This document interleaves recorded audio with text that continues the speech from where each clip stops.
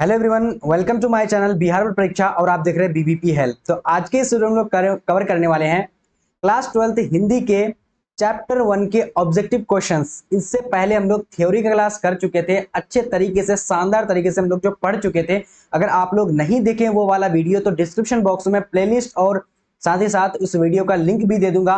और ये हमारा क्लास जो है, शुरू हो रही है स्टार्टिंग से। अगर आप लोग जो है अभी तक हमारे चैनल से नहीं जुड़े हैं तो जुड़ जाइएगा और कंप्लीट तरीके से मैं आप लोग को इसी तरीके से पढ़ाने वाला हूँ। बिल्कुल फेस टू फेस सभी सब्जेक्ट का और भी हमारे साथ एक टीचर्स हैं जो कि आपको अच्छे ढंग से पढ़ाएँगे। हमारे सहयोगी टीचर्स आपको हर एक चीज़ प्रोवाइड करने वाले हैं।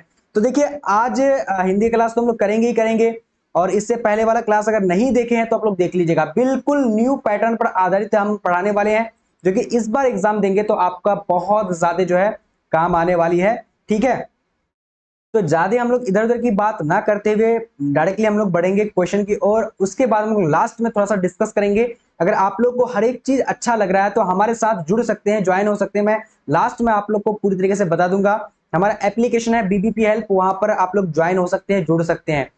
चले तो सबसे पहला क्वेश्चन को देखेंगे। अगर आप लोग थ्योरी क्लास अगर पढ़े होंगे तो आपको मज़ा आ जाएगा आज का क्वेश्चन करने में। और अगर नहीं पढ़े हैं तो आप लोग देख लीजिएगा ज़रूरी से, ठीक है? सबसे पहला क्वेश्चन हमारा क्या है कि जैसा काम, वैसा परिणाम किस लेखक के द्वारा रचित प्रहसन है?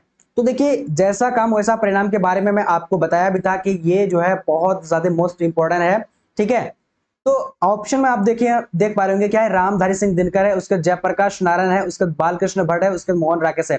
तो देखिए बेसिकली हम लोग जो पढ़ रहे हैं बालकृष्ण भट्ट के बारे में तो हमारा आंसर हो जाएगा बालकृष्ण भट्ट। जैसा काम, वैसा परिणाम के लेखक जो है बालकृष्ण भट्ट है, ठीक है? देखिए, आप लोग जवाब देने की कोशिश करिएगा और आप लोग को वैसे पता है कि शुरुआत से हम लोग स्टार्टिंग जो कर रहे हैं तो आप लोग थोड़ा सा इधर उधर हो सकता है, अगर नहीं भी बता सकते बट कोई बात नहीं।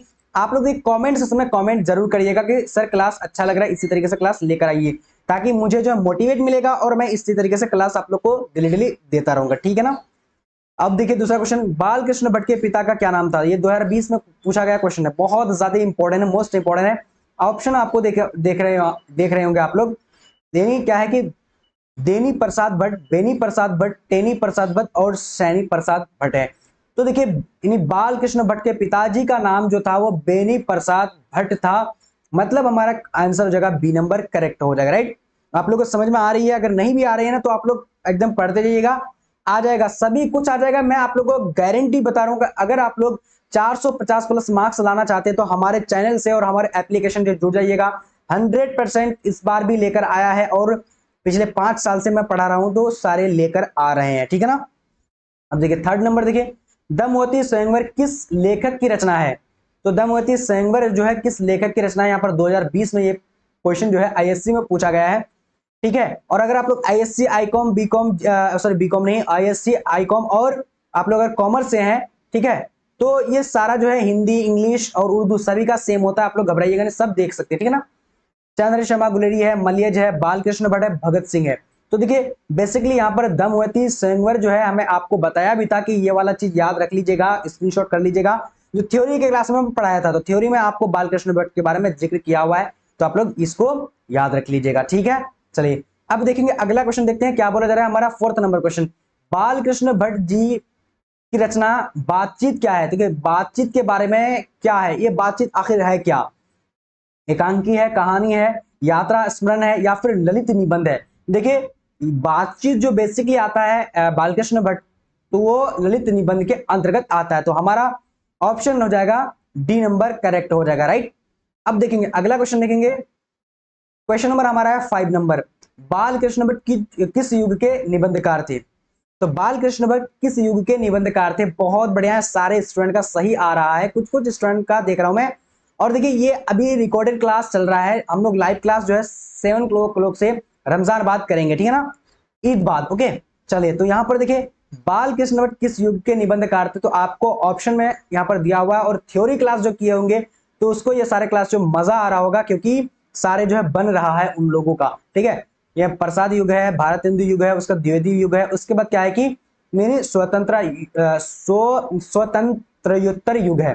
तो राइट आंसर का भारत हिंदू युग। में आपको बताया भी था कि ये याद रखेगा बालकृष्ण भट्ट किस युग के निबंधकार थे? तो वो यानी भारत भारतेंदु युग के। और भारतेंदु युग से ही वो प्रेरणा लेकर के, प्रभावित होकर के वो क्या किए कि वो साहित्यकार बने, निबंधकार बने। ठीक है?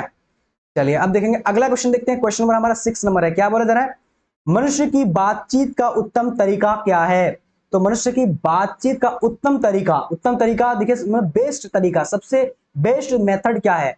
ऑप्शन देखिए यहाँ पर है कि क्या है? विद्यतापूर्ण बात करना या फिर तर्कपूर्ण बात करना या फिर भीड़ से बात करना या फिर अवाक होकर अपने से बातचीत करना। देखिए, अवाक होकर अपने से बातचीत करना मतलब क्या होता है? धैर्य पूर्वक और अपने आप में एक जो है अच्छे ढंग से बात करना, क्योंकि इन्हीं बातचीत में बालकृष्ण भट्ट जी बात की हैं कि किसी भी इंसान के किसी भी व्यक्ति के अंदर एक ऐसा गुण होना चाहिए जो अपने आप से खुद बात जो है कर पाए और वो अपने आप का भ्रास निकाल पाए। अवाक होकर बात करना मतलब निश्चिंत होकर बात करना, किसी चीज़ से जो डरना नहीं, धैर्यपूर्वक बात करना, ठीक है? तो हमारा ऑप्शन हो जाएगा सबसे बेस्ट और उत्तम तरीका जो हो जाएगा डी नंबर। अवाक होकर बात करना, ठीक है?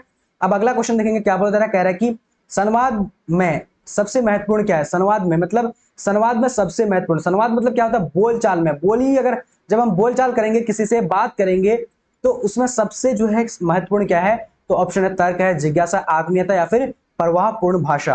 तो देखिए, आत्मीयता। आत्मीयता अगर किसी के अंदर रहेगा तो वो जो है सक्सेस, जो है सक्सेसफुल इंसान रहेगा। तो आत्मीयता भी होना चाहिए, आत्मविश्वास होना चाहिए, जो कि हम बोल रहे हैं, वो सही बोल रहे हैं। जैसे अभी मैं बोल रहा हूँ तो मुझे लग रहा है कि मैं सही बोल रहा हूँ। ठीक है? तो ये वाली आत्मीयता सभी के अंदर होनी चाहिए। ये बालकृष्ण भट्ट जी अपने चैप्टर में बताए हैं बातचीत में, ठीक है? क्वेश्चन है एट नंबर बालकृष्ण भट्ट का जन्म नहीं हुआ था? कहाँ पर हुआ था और कितने ईस्वी में हुआ था? ये पूछा गया आप लोग को। ये देखिए, ये पूछा गया है कॉमर्स और आईएससी के एग्ज़ाम में। तो देखिए, तेईस जून अठारह सौ चौवालीस है, उसका तेईस जून अठारह सॉरी चौरासी है चौवालीस है, बीस जुलाई उन्नीस सौ दो है और अठारह दिसंबर अठारह सौ चौरासी है। तो ऑप्शन हो, जा, हो जाएगा क्या हो जाएगा? तेईस जून अठारह सौ चौवालीस करेक्ट आंसर हो जाएगा ठीक है? बहुत बड़े बहुत बढ़िया वेरी गुड बिल्कुल एकदम शुरू से लेकर आखिर तक सभी सब्जेक्ट का मैं आप लोगों को पढ़ाने वाला हूँ। कंप्लीटली आर्ट्स के जितने भी सारे सब्जेक्ट है मैं सबको पढ़ाने वाला हूँ। और हमारे साथ और भी टीचर्स हैं आपको जो लाइव क्लासेस ऐप पर भी देने वाला है ठीक है? एकदम कंप्लीट घबराइएगा बिल्कुल भी नहीं है। और आप लोग जो भी सब्जेक्ट का चाहते हैं तो कमेंट सेक्शन में कमेंट करके बोलिएगा कि सर ये सब्जेक्ट का वीडियो चाहिए मैं आप लोग को दे दूँगा ठीक है? अब देखिए, संयोगिता स्वयंवर रचना है तो किसकी रचना है? इसके बारे में भी आपको मैं बताया था। बालकृष्ण भट्ट है, उसके बाद है प्रताप नारायण मिश्र की, या फिर श्रीनिवास दास की, या फिर मैथिली शरण गुप्त की। तो करेक्ट आंसर की बात करेंगे तो बालकृष्ण भट्ट करेक्ट आंसर हो जाएगा। स्वयं गीता स्वयंवर रचना, ठीक है? वेरी गुड अब देखिए, कौन सी रचना बालकृष्ण भट्ट की नहीं है? अब यहाँ पर पूछा गया है कि कौन सी ऐसी रचना है जो बालकृष्ण भट्ट की नहीं है? अगर आप लोग थ्योरी का क्लास को कर लिए होंगे, जिसका डिस्क्रिप्शन में लिंक दिया हुआ है, आप लोग कर लीजिएगा तो इसको थोड़ा सा भी आप लोग ने बनाने में थोड़ा सा भी भेदभाव नहीं होगा, एकदम आसानी से बना पाएँगे। तो देखिए, परीक्षा गुरु या फिर सद्भाव का अभाव या फिर क्या हो जाएगा? तो परीक्षा गुरु जो है करेक्ट आंसर हो जाएगा राइट आंसर क्या हो जाएगा? परीक्षा गुरु जो है राइट आंसर डी हो जाएगा। बालकृष्ण भट्ट की कौन सी नहीं परीक्षा गुरु नहीं है राइट अब आगे देखते हैं। कौन सी रचना बालकृष्ण भट्ट की है? तो कौन सी ऐसी रचना है जो बालकृष्ण भट्ट की है। रेल का टिकट खेल या फिर कछुआ धर्म, रेणु का, उसका प्राच्य विधा तो यहाँ पर राइट आंसर की बात करेंगे तो ए नंबर हो जाएगा, यानी रेल टिकट खेल राइट आंसर होगा, ठीक है? मैं आपको बताया थ्योरी क्लास कर लेंगे ना, मज़ा आ जाएगा, ये सही बात मैं कह रहा हूँ आप लोग को। तो देखिए, आज थोड़ा सा कैमरा का एंगल थोड़ा सा शायद आप लोग को लग रहा होगा इधर उधर से बट कोई बात नहीं कैमरा का एंगल भी सही हो जाएगा, उसके बाद शायद मेरी फ़ोटो जैसा भी दिख रहा है, खैर जैसा भी दिखे, मुझसे क्या लेना देना आप लोग को, आप लोग पढ़ाई में ध्यान लगाओ यार, ठीक है? अब देखिए, अगला देखिए बाल कृष्ण भट्ट ने कौन सा मासिक पत्र निकाला था? तो बाल कृष्ण भट्ट कौन सा मासिक पत्र निकालता, निकाला था? यहाँ पर आपको दिया हुआ है, हिंदी प्रदीप नामक। इसका डेट भी अगर आप लोगों को पता होगा तो थ्योरी क्लास जो पढ़े होंगे तो उसको पता होगा, लेकिन मैं अभी आप लोग को नहीं बता रहा हूँ, क्योंकि ये क्वेश्चन नीचे दिया हुआ है, ठीक है? तो आप लोग बस इतना याद रखिए, मासिक पत्र जो है, क्या होगा? जैसे हमारा हिंदुस्तान एक पेपर है, उसके बाद जागरण जो है, ये दैनिक जागरण, ये भी पेपर है उसके बाद और भी सारे, ढेर सारे पेपर हैं। तो उसी तरह का ये मासिक पत्र निकाला था, ठीक है? इसमें उन्होंने बत्तीस वर्ष कंटिन्यू वर्क किया था बालकृष्ण भट्ट, ठीक है? अब देखिए, अगला क्वेश्चन देखिए, बातचीत किस विधा की रचना है? तो बातचीत जो है, किस विधा की रचना है? आलोचना है, गीत है, शोध है, निबंध है। तो देखिए, ये क्या है? निबंध है, ये ललित निबंध है। आपको अगर पूछा जाएगा कि बातचीत कौन सा निबंध है तो ललित निबंध है, ठीक है? ये ध्यान रखिएगा ज़रूर से आप लोग। अब अगला क्वेश्चन देखिए क्या बोला जा रहा है? कह रहे कि फोर्टीन नंबर रॉबिसन क्रूसो ने 16 वर्ष के उपरांत किसके प्रमुख सॉरी किसके मुख से बात सुनी थी? देखिए रॉबिसन क्रूसो जो है 16 वर्ष में क्या होता है, वो जंगल में उस, जंगल में रहा करता था। तो बातचीत एक ऐसा व्यक्ति क्या होता है कि जब आपस में बातचीत सुनता है, तभी सीखता है। तो ये चीज़ ने प्रैक्टिकली क्या क्या रॉबिसन क्रूसो को जंगल में जाकर के जो है रख दिया और जंगल में ही बचपन से वो रहा। तो उसको कोई भी लैंग्वेज नहीं आया, बिल्कुल चिड़िया का वो भाषा समझने लगा था और चिड़िया से वो बातचीत करने लगा था। तो इंसान को अगर जब तक कोई बात अगर उसके कान में नहीं जाए तो वो सीखेगा नहीं। तो सोलह वर्ष के उपरांत जो है, क्या कहता है वो फ्राइडे की बात सॉरी फ्राइडे की वो क्या सुनी थी? बात सुनी थी। उसके मुँह में एक बात सुनी थी सुनी थी। ठीक है? तो जब रॉबिसन क्रूसो ने जो है मतलब देखा सुना तो वो डर गया था कि आखिर ये क्या हो रहा है? इंसान बोल रहा है, लेकिन देख रहा है कि सब, मेरे तरह सबके हाथ है, पैर है।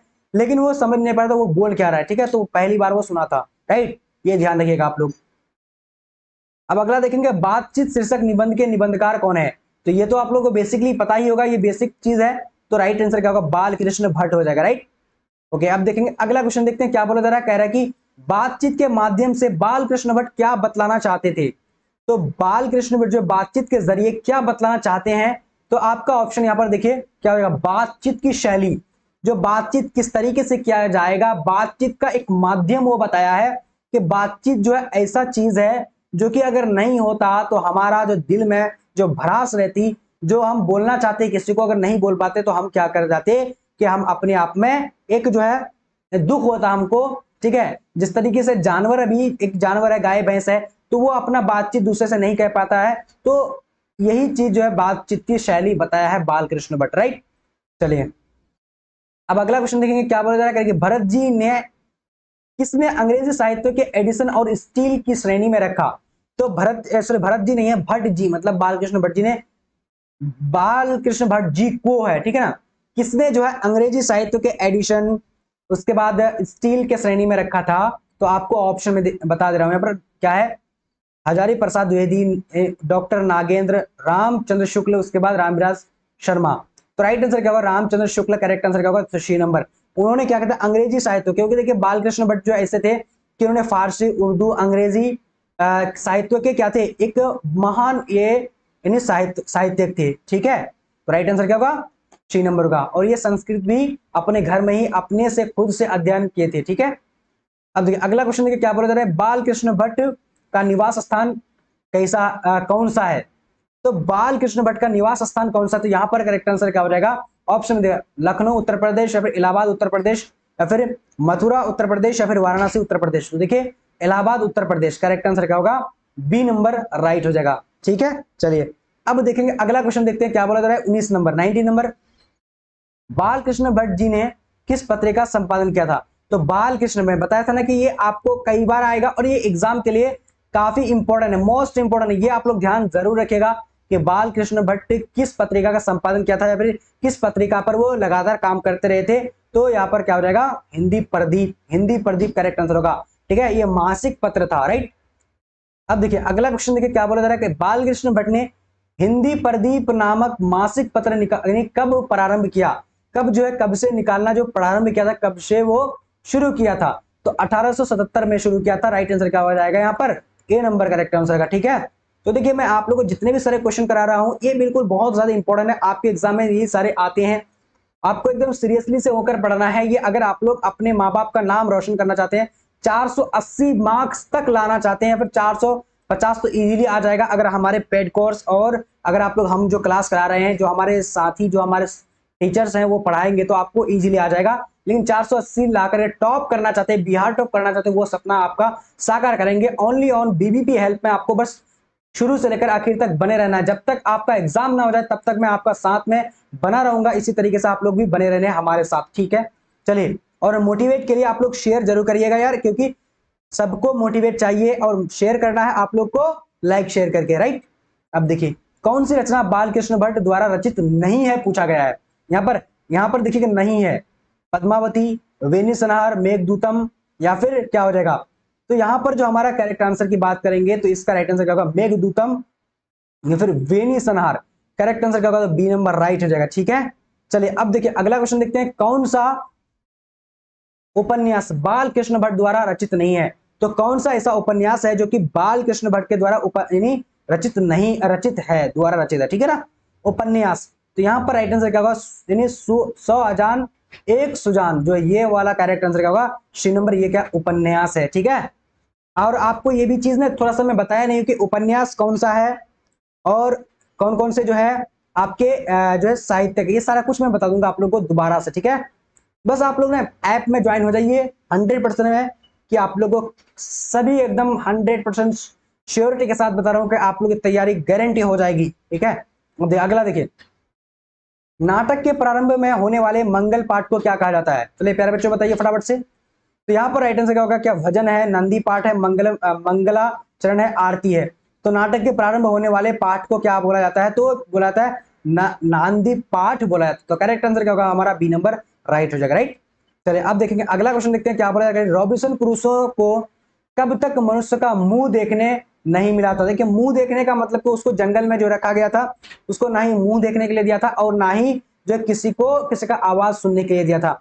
तो 16 वर्ष तक रॉबिसन क्रूसो को 16 वर्ष तक इस पर क्या किया था? प्रैक्टिकल किया था और 16 वर्ष तक उनको जंगल में ही खाना पीना, जो भी सारा कुछ जंगल में ही मिलता था, ठीक है? लेकिन लोग जो है, अपना चेहरा नहीं दिखाता था राइट चलिए, बचपन से ही। अब देखिए, अगला क्वेश्चन देखिए, पच्चीस नंबर क्वेश्चन बोलने से मनुष्य में रूप का साक्षात्कार होता है। बोलने से मनुष्य के रूप में साक्षात्कार होता है। ये किसने कहा था?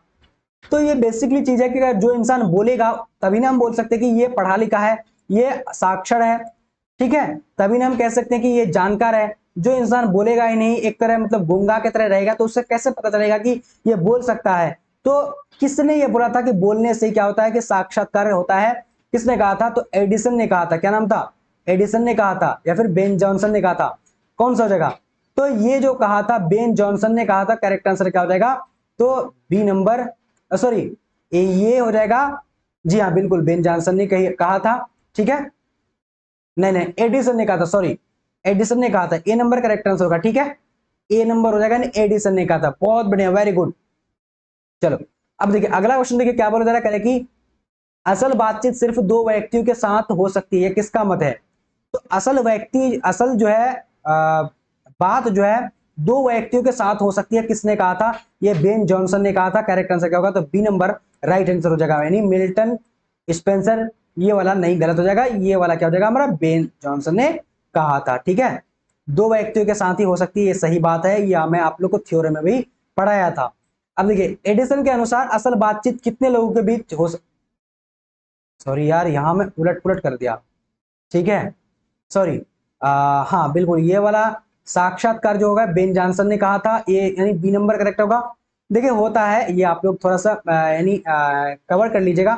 और दो व्यक्ति, एडिसन एडिसन ने कहा था, ठीक है? तो देखिए यार, मैं आज नहीं थोड़ा सा इसलिए बहक रहा हूँ, क्योंकि अभी मैं बहुत सारा वर्क करके आया और डायरेक्टली क्लास ले क्लास ले रहा हूँ। तो इस वजह से हो सकता है थोड़ा सा माइंड इधर उधर। बट कोई बात नहीं, मैं हूँ तो आप लोग को एकदम श्योरिटी के साथ हंड्रेड परसेंट सही जो है, आप लोग को नॉलेज दूँगा। और गारंटी के साथ आपको 450 जो है के लिए मैं पढ़ा दूँगा, ठीक है? एडिशन के अनुसार जो असल बातचीत दो व्यक्ति के साथ हो सकती है करेक्ट आंसर क्या हो जाएगा? तो ए नंबर हो जाएगा। तीन चार, ये गलत हो जाएगा, ठीक है? बहुत बढ़िया। अब आगे देखेंगे। बातचीत से मन किस प्रकार का हो जाता है?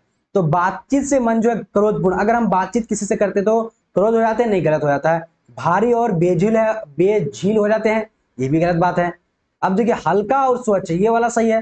हम क्या कहते हैं? हल्का और स्वच्छ हो जाते हैं। जो हमारे दिल में रहता है, हम बातचीत करके क्या होता है? हल्का और स्वच्छ हो जाते हैं। तो राइट आंसर क्या हो जाएगा? हमारा सी नंबर करेक्ट हो जाएगा। उसके बाद यहाँ पर तीसरा नंबर देखिए। इनमें कौन नहीं है? इनमें कौन नहीं है? तो यह वाला तो गलत ही होगा। तो हमारा राइट आंसर का सी नंबर करेक्ट होगा। ठीक है? अब अगला देखेंगे। किसके न होने से सृष्टि गुंगी प्रतीत होती है? तो किसके न होने से सृष्टि गुंगी प्रतीत होती है? तो अब देखिए, श्रवण शक्ति श्रवण शक्ति मतलब हम जो सुनते हैं उसको बोला जाता है वाक शक्ति वाक शक्ति के ना होने से, बोलने की क्षमता ना होने से, जो सृष्टि, ये संसार क्या होता? गुंगा रहता, ठीक है? गुंगी प्रतीत होती। दिव्य शक्ति मतलब देखने वाला शक्ति, स्मरण शक्ति में सोचने वाला शक्ति शक्ति। तो ये वाला क्या हो जाएगा? गलत हो जाएगा, ये वाला सही हो जाएगा, ठीक है? अब अगला देखेंगे। अगला question number thirty number, art of conversation कहाँ के लोगों में सर्वाधिक प्रचलित है? तो आर्ट ऑफ़ कन्वर्सेशन जो है यूरोप के लोगों में, आपको थ्योरी क्लास में पढ़ाया था। थ्योरी क्लास में इसके बारे में बताया भी था कि यूरोप के लोगों के अंदर जो है बात करने का क्षमता को क्या बोला जाता है? आर्ट ऑफ़ कन्वर्सेशन ठीक है? तो यूरोप के लोगों, और अफ्रीका गलत हो जाएगा, भारत गलत हो जाएगा, कनाडा गलत हो जाएगा राइट चलो, अब देखेंगे, अगला क्वेश्चन देखते हैं। अगला हमारा थर्टी वन नंबर क्वेश्चन है, क्या बोला जा रहा करेगी? बाल कृष्ण भट्ट किस काल के रचनाकार है? तो बाल कृष्ण भट्ट जो है आदिकाल के हैं, भक्ति काल के हैं, गलत हो जाएगा, रीति काल के, गलत हो जाएगा, आधुनिक काल के। अगर आपको पूछा जाएगा कि बालकृष्ण भट्ट किस काल के कवि हैं या फिर सॉरी किस काल के रचनाकार हैं तो अगर ऑप्शन में रहेगा कि आधुनिक काल तो आधुनिक काल हो जाएगा। अगर यहीं पर हो जाएगा भारत तेंदु युग के तो वहाँ पर भारत तेंदु युग ऑप्शन में अगर रहेगा तो भारत तेंदु युग लगाइएगा, लेकिन आधुनिक काल के थे, ठीक है? तो आज हम लोग जो है थ्योरी के साथ साथ इस चैप्टर को कंप्लीट कर रहे हैं। तो आज मैं आप लोग को मेन और इंपॉर्टेंट चीज़ जो जानकारी देने वाला हूँ, वो चीज़ आप लोग ध्यान से सुनिएगा, ठीक है? कौन नहीं चाहता है कि 400 प्लस मार्क्स लेकर आए? 400 प्लस मार्क्स लाना आप लोग के लिए इजी है, लेकिन अभी से पढ़ना पड़ेगा। आप सोचेंगे क्या कि दो महीना पढ़ के 450 लेकर आ जाए तो ये इजी नहीं है, ठीक है? क्योंकि सबको पढ़ना पड़ता है। एक आपको उदाहरण में देता हूँ कि कोई इंसान अगर क्या करेगा कि दस दिन का खाना एक दिन में खाएगा तो उसका पचेगा? नहीं पचेगा, नहीं हो सकता ऐसा। लेकिन उसको क्या दस दिन का खाना अगर डेली डेली खाएगा तो वो क्या होगा कि तंदुरुस्त भी होगा, सेहतमंद भी होगा, और वो क्या होगा कि सब कुछ उसका एकदम ग्रोथ भी होगा डेवलपमेंट भी होगा। लेकिन वहीं पर अगर हम क्या करेंगे, सोचेंगे कि नहीं, अभी नहीं पढ़ेंगे, बाद में पढ़ेंगे तो ऐसा नहीं होगा। मैं आप लोग के लिए पेड कोर्स चला रहा हूँ, जिसमें आप लोग को study material PDF notes important question practice set weekly test और साथ ही साथ आपको live classes recorded classes subjective objective का पीडीएफ नोट्स में प्रोवाइड कराने वाला हूँ। तो आप लोगों को क्या करना है कि यहाँ पर देखिए ओनली फॉर देखिए, ऐसे तो नौ सौ निन्यानबे का कोर्स में अभी अभी है, लेकिन अगर आप लोग बीबीपी हेल्प ऐप को डाउनलोड करके अगर आप लोग जो है वहाँ पर एक कूपन कोड है, वहाँ पर कूपन कोड अगर यूज़ करेंगे तो चार सौ उनसठ में, उनसाठ रुपए में आपको जो है कोर्स मिल जाएगा पूरे साल के लिए, ठीक है? तो हम आपको क्या करना है कि इस ऐप को बीबीपी हेल्प ऐप को डाउनलोड कर लेना है और देखिए, आप लोग ने, अगर कोई भी डाउट हो, कोई भी प्रॉब्लम हो तो इस नंबर पे आप लोग व्हाट्सअप कर सकते हैं, ठीक है? यहाँ पर गलत हो जाएगा हाँ। Eight eight six eight nine होगा, ठीक है? Seven nine zero three two eight eight six eight nine पर आप लोग व्हाट्सएप या फिर कॉल करके जानकारी ले सकते हैं। और हमारा टेलीग्राम आप लोग ज्वाइन हो जाइएगा। टेलीग्राम है बीबीपी हेल्प वहाँ पर ज्वाइन हो जाइएगा। मैं इस पीडीएफ को अभी मैं आप लोग को दे दे रहा हूँ। तो आज का हमारा लाइव सेशन और क्लासेस इतना ही तक था। और कोई भी डाउट हो, अधिक से अधिक जानकारी के लिए आप संपर्क कर सकते हैं हमसे। कोई भी प्रॉब्लम हो, कोई भी समस्या हो, सभी सब्जेक्ट का, आप लोग कोई भी समस्या हो या फिर कोई भी डाउट हो, कोई भी आप अब कुछ पूछना चाहते हो तो इस नंबर पे कॉल करके हमसे पूछ सकते हैं। तो आज का लाइव सेशन इतना है और फिर मिलेंगे अगले लाइव सेशन में। तब तक के लिए जय हिंद, जय भारत। ठीक है, प्यारे बच्चों, मिलते हैं अगले क्लास में।